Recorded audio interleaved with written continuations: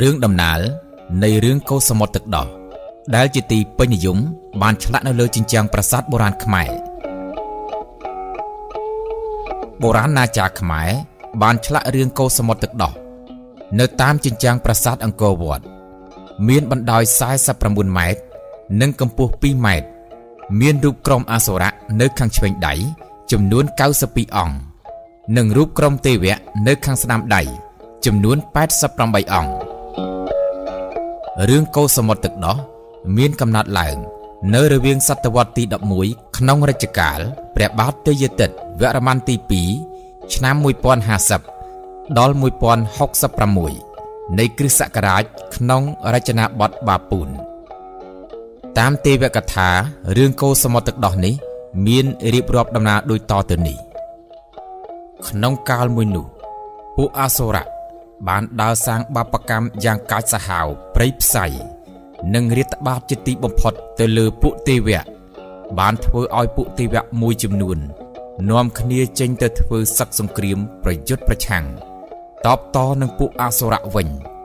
អស់រយៈពេលជាច្រើនឆ្នាំ ការប្រយុទ្ធចេះតែបន្តកក្រៅទឹករំជួយដី តែពុំមានអ្នកចាញ់ឈ្នះនោះទេ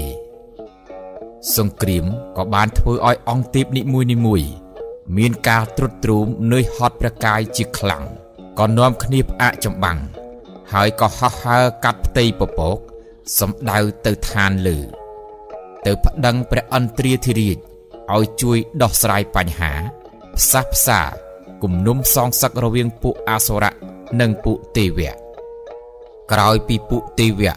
និងពួកអសុរៈរៀបរាប់ទូលថ្វាយ អំពីដំណើរហេតុការវិបត្តិទាំងឡាយរួចរាល់ហើយព្រះអិនក៏ត្រិះរិះពិចារណាយ៉ាងជ្រាលជ្រៅក្រោយមកទើបមានព្រះបន្ទូលទៅកាន់ពួកទេវៈនិងពួកអសុរៈថាមនាលអង្គទេវៈអសុរៈទាំងអស់គ្នា ដើម្បីសេចក្តីស្ងប់ស្ងាត់តាមពុជពងដំណក់លហិតរៀងរៀងខ្លួន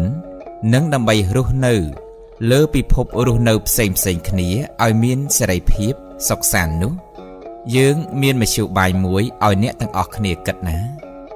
គឺថា អ្នកត្រូវនាំគ្នាកោសមុទ្រទឹកដោះដើម្បីស្វែងរកទឹកអមរិតជីវិតអមតៈ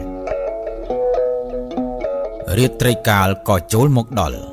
ពួកទេវៈក៏ប្រមូលផ្ដុំគ្នាគ្នា រួចត្រិះរិះពិចារណារកមកព្យុបាយ ដើម្បីដណ្ដើមយកជ័យជំនះទៅលើពួកអសុរៈព្រោះថាបើតាមការប៉ាន់ប្រមាណទៅលើពួកទេវៈប្រហែលជាពុំមានសមត្ថភាពគ្រប់គ្រាន់យកជ័យជំនះទៅលើវងអសុរៈបានយ៉ាងងាយងាយឡើយមធ្យោបាយល្អមានតែម្យ៉ាងគត់គឺប្រើល្បិចពួកទេវៈក៏ចូលគាល់ព្រះវិស្ណុស្នើសុំដល់ព្រះអង្គឲ្យជួយ ព្រះវិស្ណុក៏យល់ព្រម ពេលរាត្រីកាលក៏កន្លងផុតទៅពួកអតិទេពពួកទេវៈនិងពួកអសុរៈជាច្រើនក៏បានមកប្រកាសកាយជួបជុំគ្នា នៅភ្នំមន្តរៈតាមពាក្យពេចន៍សន្យា ដែលយកភ្នំមន្តរៈធ្វើជាស្នូល ហើយយកពុះនាគរាជឈ្មោះវ៉ាសុគិធ្វើជាខ្សែពាត់សម្រាប់ទាញគោចុះគោឡើងពួកអសុរៈ ជាអ្នកកាន់នៅខាងក្បាលពុះនិករាជនិងពួកទេវៈកាន់នៅខាងកន្ទុយពុះនិករាជពួកទេវៈនិងពួកអសុរៈក៏ចាប់ផ្ដើមកោចុះកោឡើងអស់រយៈពេលយ៉ាងយូរបានធ្វើឲ្យភ្នំមន្តរៈចាប់ផ្ដើមស្រុតចុះទៅបាតសមុទ្របន្តិចម្ដងបន្តិចម្ដង ដោយមើលឃើញ នៅស្ថានភាពបែបនេះហើយ ព្រះវិស្ណុក៏និមិត្តព្រះកាយ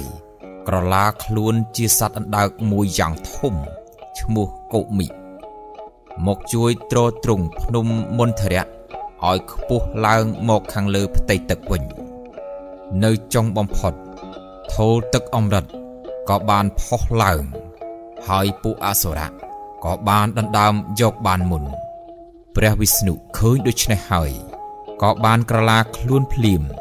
ធ្វើជាព្រះនាងទេពធីតាឋានសួគ៌ឯកដ៏ស្រស់ប្រំប្រៃចូលទៅលួងលោមប្រឡោមកាយអសុរៈឲ្យបោះបង់ថូលទឹកអមរិតជីវិតអមតៈនោះចោលដោយចាញ់នឹងសម្រស់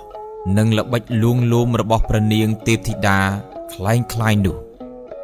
មេអសុរៈក៏ក្រវែងថោទឹកអមរតជីវិតអមតៈនោះចោលទៅពពួកទេវៈបានឃើញហើយ ក៏បាននាំគ្នារើសយកមកចែកគ្នាក្រេបបានគ្រប់គ្រប់អង្គ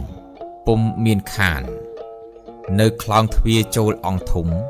ឬខ្លោងទ្វារចូលទៅកាន់ប្រាសាទព្រះខ័នគេក៏សង្កេតឃើញមានរូបបដិមាជាច្រើន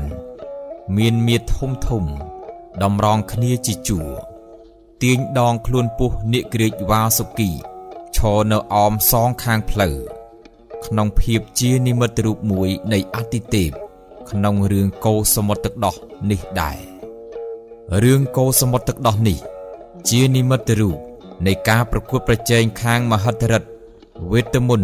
ដណ្ដើមយកទឹកអមរតជីវិតអមតៈនៅឯភ្នំមុនធរៈដើម្បីស្វែងរកភាពក្សេមខ្សានសុខដុមរមនាសម្បូរសបាយរុងរឿងជូនប្រទេសជាតិមាតុភូមិ